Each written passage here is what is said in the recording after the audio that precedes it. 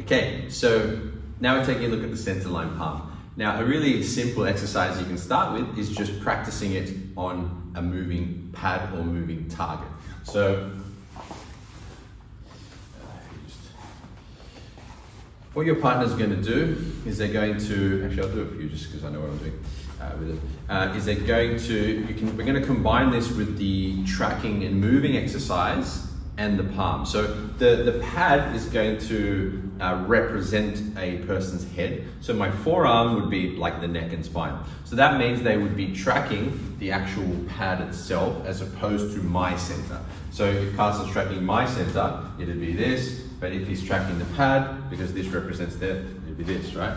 And then whenever the target is, uh, uh, whenever the pad is presented, then Carson's going to use his palm strike. Very simple exercise. So let's have a go. Carson stays tracking the pad, and then when the pad comes up, bang, you go straight forward with that. Yeah. Back down, so you keep it down like this, and then when it comes up, you go straight with the palm strike. Tracking, tracking. Now, just a note for the pad holder, uh, don't hold it too far back um, towards the end of your shoulder range, because if you have shoulder problems, that could um, you know, make a, give you an injury if you had a shoulder problem. There's actually a video of when I'm punching a pad and um, my student brought the pad too far back. I should have told him my bad. And um, he, I punched the pad and then he goes, oh, hold on, like it really hurt him. So um, don't do that.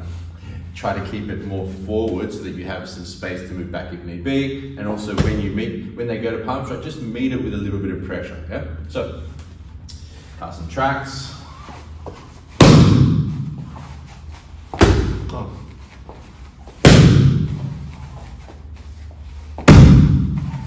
Simple exercise. And you can see, you know, Carson's moving his body quite well, so he can generate a pretty good amount of uh, force with this movement. Now, things to think about when you're doing this one. Uh, so Carson can pretend he's holding a pad here. Things to think about is make sure you're keeping your guard onto the actual center of the target. And when it comes up, going straight to the target with the heel of the palm, maintaining your hands in front of the center.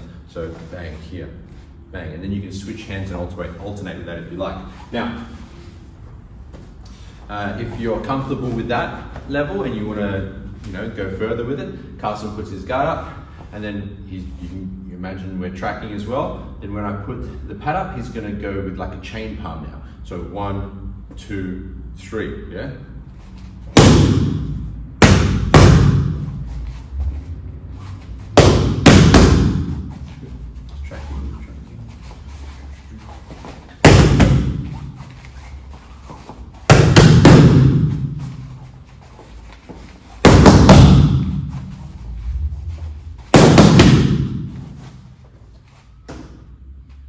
Okay, so that's a another layer to the exercise you can use. You can be tracking the pad and then bang, bang, bang. Yeah?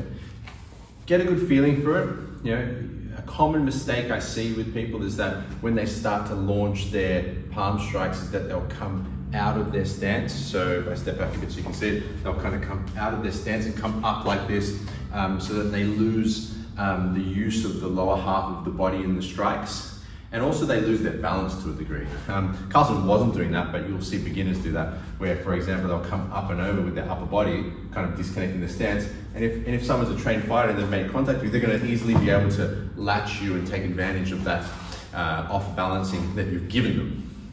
So keep that in mind as well.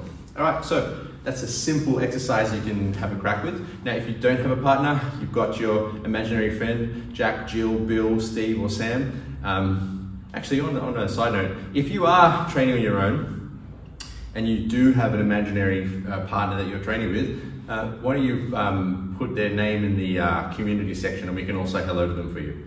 Just a silly note there. If you want to draw a picture as well, chuck it in there. But you've got your imaginary friend, so shadow style training. You've also got heavy bags, uh, wall bags. You can even actually just do that straight on the wall. Like, you know, you can just practice your placement. Yeah, your placement on the wall. You know? Don't hit it too hard so don't hurt yourself with it. Um, but you can also do that too.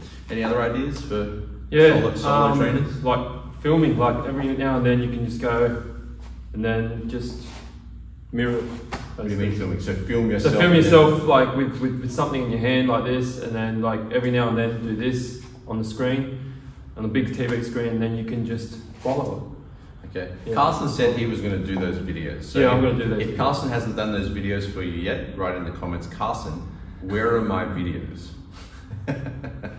okay. Cool. Um, once again, any questions, comments, chuck them in the community, and I look forward to seeing you guys in our next video.